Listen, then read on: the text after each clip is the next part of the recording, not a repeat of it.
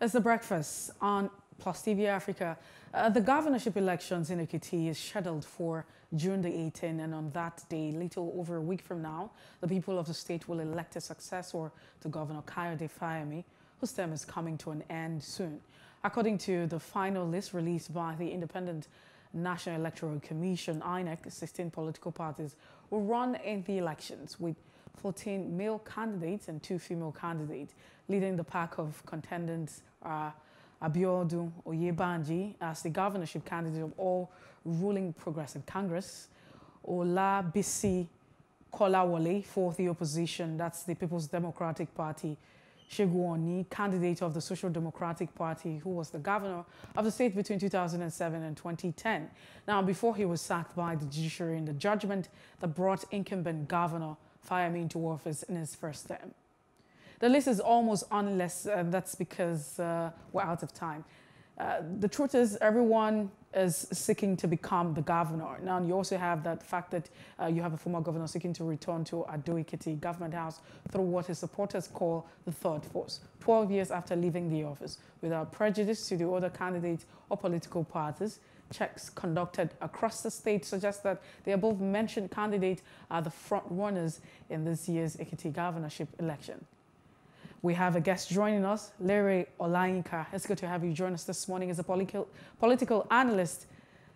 Thank you for joining us, and once again, happy belated uh, Democracy Day. Good morning, and thank you for having me. So let's get straight to it now. Looking at the four runners, I mean, you have like 16 candidates, including, uh, you know, two females, which we must commend, and uh, you have 14 male candidates. But according to reports, you have strong contenders, frontliners. Uh, what do you think that Ekiti State currently needs? Well, well, Ekiti, Ekiti presently needs, uh, need, uh, like, like every other state in Nigeria, need a peaceful environment, an environment where people can go out and do their businesses without fear of being attacked, where people can move freely without fear of being, of being abducted by bandits. That is the, the, that is the most important thing now. The moment you are not you are not secured, the moment you there, there is a high level of insecurity, nothing will nothing nothing will move. Ekiti is an agrarian state. Most people can no longer go to their farms now. People, people are kidnapped in their farm. People are killed. Women, women are raped. Daughters, their daughters are raped in their in, in their farms. So, what Ekiti State need majorly now is a secure environment. It, and, and what the state needs is a government that, that will be bold enough to, to, to, to, to confront the issue of insecurity head on. Hmm. Uh, but, let's also look at, you know, this candidate. The election's very close, 18th of June, and look at, uh, you know, the candidates that are vying for, uh, you know, uh, the office of the governor. And there's been debate that's been put out, juxtaposing, looking at the speech that they have made, which of these candidates you think has actually captured the interest and the concern of the Ekiti people? The first, the first thing you need to look at is, uh, is, is, is the pedigree, personality, political party, then the experience, the experience of, of the people contesting. For the for the, for, for, for the APC, we have somebody who who was uh, who was personal assistant to Otunba Adebayo between 2000, 2003, 1999, 2003. And we know what happened during that government. Well, it was it was during that government that local government workers workers were owed salaries up to like 12, 13, 14 months. And it was part of the government. He was also secretary to the state government in uh, like up to like uh, like six, seven months ago. So he was he worked with Fayemi from uh, he worked with Fayemi between 2010 and 2014 as a commissioner. And it was during that during that government that that Ekiti was plunked into untold uh, debt. A lot of money was borrowed, nothing was nothing was used. It was used for nothing. Then he was also part of the government of, of this present government, and he was he was a member of the governing council of Ekiti University. He was part of that governing council that sacked over 1,000 workers in that university. So you, you I, read out his, his own antecedents and then, then we have candidate of PDP, Otumba Pinsikolawole, who was a supervisor in the, in the local government who was who was uh, House of Assembly member between 2007 and 2011, who was also uh, member of a governing council of Federal Polytechnic Bida between 2012 and 2014, who was commissioner for environment in the state between 2014 and 2018. He was chairman of PDP the state between 2020, 2020 and 2020, 2021. So those are the two. Then the other person, Engineer Segun Oni, who was governor of Ekiti 15 years ago. If you have been governor 15 years ago in a state and you say you are coming back, I've, I've, had reasons to tell people this. This, the same way uh, President Buhari was brought back having been president 30 years ago, and they brought him back. He, he thought he was going to come and uh, apply 1985 solution to, to Nigeria's 2015 and 16 uh, problems. We know where we are today. So if uh, my question is, is, is clear, if you have been governor in 15, 15, 20 years ago, there's no point trying to force yourself back because the situation there will be different from the situation now. The, the dynamics then are different from the dynamics now. So, so those are the three three main contenders. Though though I, I like to limit myself to the two main political parties in the country. That's the APC and PDP. Uh, but, but do you think that? But, but do you think that ideology is fair at the time where we're pushing for a thought force? I mean, you know, usually the media has been blamed for pushing that narrative of having just two forces. You see, you see, you see, in Nigeria, we have always been pushing for thought force. Let me give you an example. In the, the, in 1979, we had like five political parties: UPN, MPN, PRP, GNPP, and MPP. The, the predominant party then was PDP, was UPN and MPN.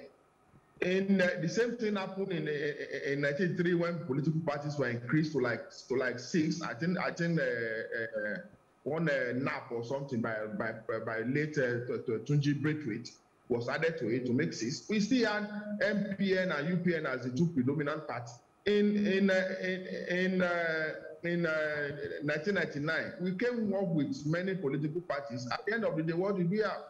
We have we have PDP as the predominant party. Then we had then we had AD, then APP, and as, as time went on, all those parties marched to become one. So at, at every point in the political life of Nigeria, we've always had two main political parties. We've always had two main, but there will always be oh, these flashes of uh, third force.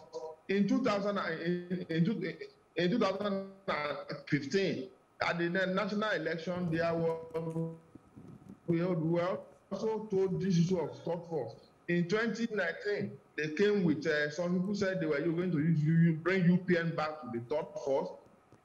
That was that was when they brought SDP they brought SDP to, to some point. We have had we have had time where they where they thought ADP will be third force, uh, NDP will be third force, and all those things, all those things. So we've, we've never had issues of during election. You always in the state here, for instance, in 2007, Otunba Akerele contested governorship election under uh, under ANPP.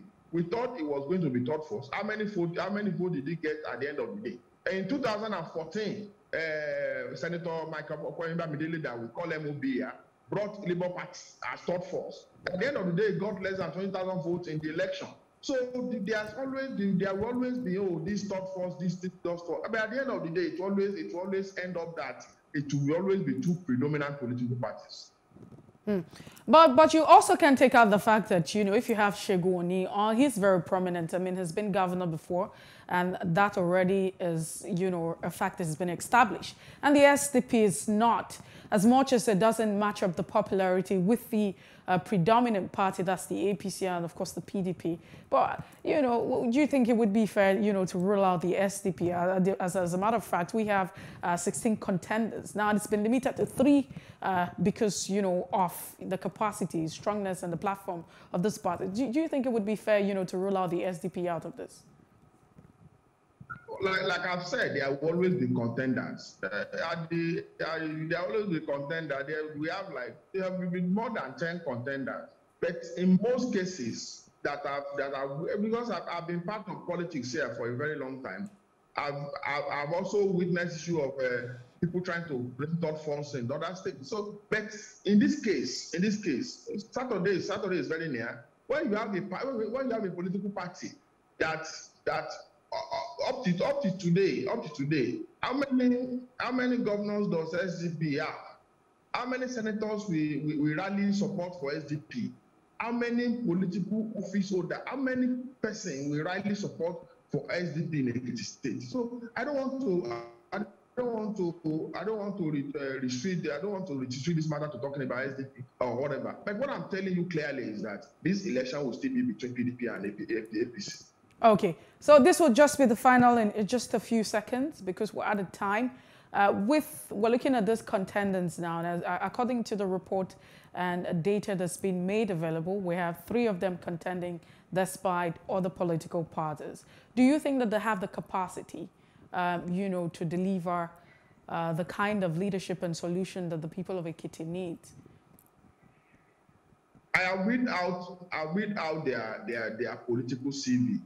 I've told you, I've told you about APC candidate who was secretary to the state government and who has been part of Fayemi's government. He was part of his government during his first tenure, and he was also part of his government during the second tenure. And we know what the state is witnessing today.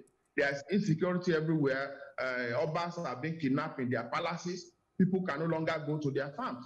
There is there are workers employed by PDP government were sacked. I, I, I, mentioned the over 1,000 workers start in EXU, where the APC candidate was a member of the governing council representing the government. I, have also mentioned that even when court, three months ago, the, the, the, the, the appeal court, which is the last court for industrial matter, gave judgment that those workers should be reinstated immediately. Up to now, that judgment has, has not been obeyed. That is the person coming on the platform of, of APC, a party that has refused to, to obey court, court, court judgment. And I've also told you about Bisikola Wale of the PDP, who has worked, who has grassroots, who has experience in grassroots governance, who has experience in legislative governance, who has experience even in executive governance, having been commissioner who also has political experience, having been uh, chairman. Uh, Mr. Olayinka, we have to let you go now. Thank you so much uh, for your time and your thoughts. I mean, I wish we can continue uh, with this conversation, but of course, as we inch closer to uh, June the 18th, we will definitely share your thoughts on the issue as we proceed. Thank you so much for being part of the breakfast. Uh, we have been speaking with Lere Olayinka. He's a political affairs analyst. We appreciate his time on the show. That's the size of the conversation this morning on The Breakfast. I hope you had a great time. We'll definitely return tomorrow. The time again is 7 o'clock to 9, where we take you through the entire show with uh, great conversations generating different reactions in different spaces and great analysis coming your way right here. I am Mercy Ebokpo. Follow us on Facebook, Twitter, and Instagram, and do subscribe to our YouTube channel if you missed out on any part of the conversation. It's at Plus TV Africa and Plus TV Africa Lifestyle. Have a great day.